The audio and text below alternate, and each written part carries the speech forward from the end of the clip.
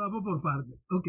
Como habíamos planteado la semana pasada, habíamos dicho que los altos, altos mandos permanecían. Ahí está Padrino, ahí está el almirante Remigio Ceballos, cada uno en los dos puestos de importancia y control. La lógica de la salida de la promoción de Diosdado Cabello era algo absolutamente inevitable. Y en eso estaba tan consciente Diosdado como cada uno de los miembros de su brigada, de su promoción. Entonces, ahora vamos a la otra parte del cuento. El COVID y Diosdado. Esta gracia, por fin él admite o manda que se diga que tiene la enfermedad. Creo que es la, esto hubiese sido la cuarta falsa alarma con respecto a Diosdado y el, y el coronavirus, el virus chino, pero esta vez se admite y se guarda. ¿Tiene algo que ver eso con, con lo de la, e, este, este pase a retiro de la, de la promoción? Si me preguntan a mí, no. Yo creo que tiene que ver más que todo con una estrategia natural de, si bien tiene o no tiene la enfermedad, de descanso necesario para lo que viene. ¿Qué es lo que viene dentro de la estructura de lo que maneja en lo particular Diosdado Cabello? Es muy importante comprender que Diosdado Cabello es el dueño hoy del partido, del, del PSV. Si bien, si bien Maduro figura como presidente del partido, el que ejerce las direcciones, quien tiene el control real del partido, es Diosdado Cabello. ¿Y qué estamos viendo de lo que, de, algo que hemos también tocado hace mucho tiempo? hay que ver cómo cada vez más avanza el partido como institución de gobierno. Es decir, no el partido de gobierno, sino el partido como la maquinaria que hace gobierno. Las directrices que se van generando a través del, partido, que pueden tener algún tipo de vocería vía asamblea constituyente, se, se vuelven acción de gobierno.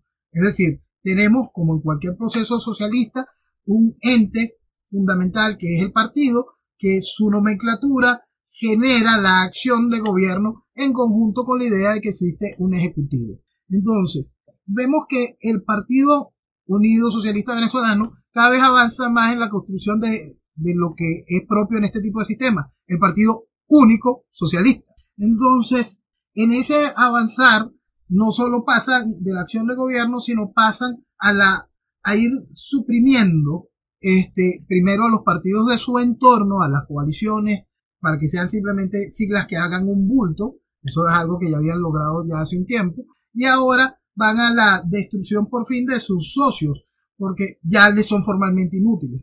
Hace mucho tiempo también señalábamos que hay un momento en que esa oposición ya no le es útil para para el proceso de izquierda carnívora hay un momento en que se consolida y tiene que empezar a gobernar como tiranía de manera formal. Y por supuesto el acompañamiento del juego democrático ya simplemente no es necesario. Va a tenerlo todavía. ¿Por qué? Porque este acompañamiento democrático tiene una independencia gracias a la legitimidad que le dio la gente con el voto. Y entonces esa cosa que es el guiado y todo ese chiste va a seguir viviendo, ¿no? Y la otra parte del chiste que son la, los partidos estos a los que les han retirado la directiva y siguen siendo gobernados por los mismos miembros del partido, y los cuales participarán en las elecciones con los mismos miembros del partido, menos con las cabecitas principales, para que la gente no piense tan mal, este, eh, eh, seguirán brindando el juego de la supuesta democracia, democracia como la que se vive en Cuba, democracia como la que se vive en China, democracia como la que se vive en Irán, aquella democracia maravillosa que tenía Saddam Hussein, donde sacaba el 98% de los votos. Entonces, esas son realidades muy importantes a tener en cuenta, porque aquí se va a seguir jugando a la democracia, pero ya sin la necesidad de los camaradas. Ahora solo camaradas totalmente funcionales. Ya no necesitamos el, relleno, necesitamos disciplina para que el país termine de disciplinarse y aceptar la existencia de un partido único, una asamblea única. Y, ¿cómo es que ellos llaman eso? Esa disertación en lo interno, que exista una una dialéctica socialista única para el desarrollo del futuro de la revolución. Ah, con un partido único se terminan los problemas. Se acaban los problemas, porque lo que genera son más discusiones de esta, de las que hemos comentado siempre, ¿no? De estas discusiones del troquismo, estalinismo, versión barrio adentro. Bueno, ahora dentro de la estructura de, del gobierno. Eh, cuando, cuando, para los que tienen algo de tiempo, yo les recomiendo siempre que vean, busquen en YouTube, hay varias discusiones de la Asamblea Nacional de Cuba. Bueno, ese es el futuro. Próximo en esa parte, se pueden reír bastante con eso. O pueden buscar documentales sobre cómo funcionaba la Duma. Este, por supuesto que ello era mucho más elegante, ¿no? Este, pero su estructura y sus discusiones, cómo se iban calentando y generando un nivel, y después le decían amén a Papa Stalin, amén a Nikita, amén a Charnace, y así. Hoy, como se le dice amén a Putin, que acaba de ganar este maravilloso referéndum con un setenta y pico por ciento de aprobación para gobernar hasta el 2036. ¿Cuántos años le lleva este hombre? Putin desde el principio del siglo y un poquito más, porque su, la etapa en que Yeltsin supuestamente gobernaba, mentira, que gobernaba era Putin, este, cuando, cuando Yeltsin se trajo a Putin al gobierno, y desde entonces Putin ha sido presidente, después Putin puso a Medvedev a que rellenara el cargo ahí un ratico, lo dejó un ratico más porque Putin quería en ese momento este, bañarse con tigre, tú sabes, las cosas que le gustan, y después volvió por el poder y ahora decidió que ya no necesita que Medvedev le haga el quite, sino que se queda allí. Sí, se está cómodo. Es que él está muy cómodo, él, está muy cómodo y era como una necesidad y una, y una, una solicitud. Si tú quieres algún tipo de referencia, ahorita hablaste de, de, la mala crianza eventual posible de Diosdado, pero si tú quieres ver un ejemplo de una mala crianza real, fue esa. ¿Por qué? Porque el Partido Comunista Chino sí se le había dado ya esa oportunidad a Xi Jinping. Xi Jinping tiene derecho a las reelecciones eternas, per secula seculorum, y asegurado, por supuesto, su permanencia en el gobierno si no hay un caos económico su permanencia en el gobierno hasta el 2036 y seguramente un poco más. está bien, eso es lo que quiso hacer Cristina, lo que quiso hacer Evo y le salió mal. lo que quiso hacer Chávez. Y lo que Maduro se, se, se, no tiene ni siquiera que hacer la modificación porque aquí ya se aceptó. Es muy importante entender para los defensores del librito ridículo de la Constitución, que por supuesto estará aprobado de una vez en la próxima Constitución, de seguir el ritmo que llevamos, la elección perpetua y permanente es válida para todos los cargos de elección en Venezuela. Es decir, Maduro se puede reelegir cuantas veces le da la gana.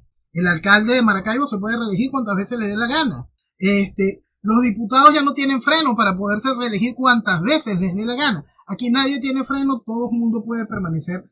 Y ya ese esquema que tanto Chávez quiso y lo consiguió con la reforma constitucional del, del año 2009, este, es válido en China, en Rusia, la revolución es una sola. ¿Y por qué no hacen una monarquía y se, declara rey y listo? Poco a poco, eso lleva también sus partes. Este, Corea del Sur, del Norte no tiene su monarquía, pero como tal la vive, ¿no?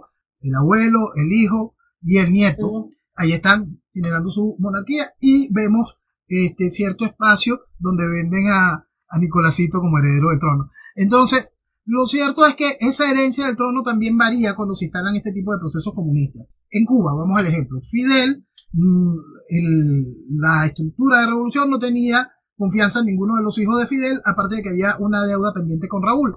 Entonces se le da el turno a Raúl cuando Fidel ya no pudo más. Raúl, que busca, que eh, fue un proceso de, no, no transición, sino transición en la imagen, ¿no? Eso es muy importante entenderlo. Raúl en su proceso de transición en la imagen, de quitarle la idea del apellido Castro como ejercicio de gobierno, pero sí eh, que se mantenga el proceso comunista como tal, el proceso revolucionario, y recordando cada una de las etapas que los llevaron al, poder, esperan que el suicidio del hijo de Fidel Castro se hiciese realidad, del hijo principal de Fidel Castro, y después del suicidio se nombra de una vez a Díaz Canel como heredero del poder democráticamente, por supuesto, es un acuerdo de la Asamblea Nacional Cubana que lleva a Díaz Canel al poder.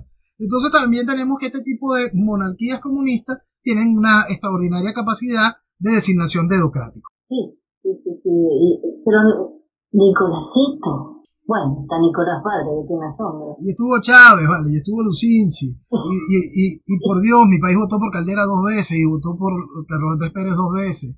El problema que nosotros tenemos es viejo, es largo. Mi país mi país aplaudió que se sacara a Marco Pérez Jiménez, mi país aplaudió y, eh, perdón, denigró la, la, campaña electoral de, de Urla Pietri.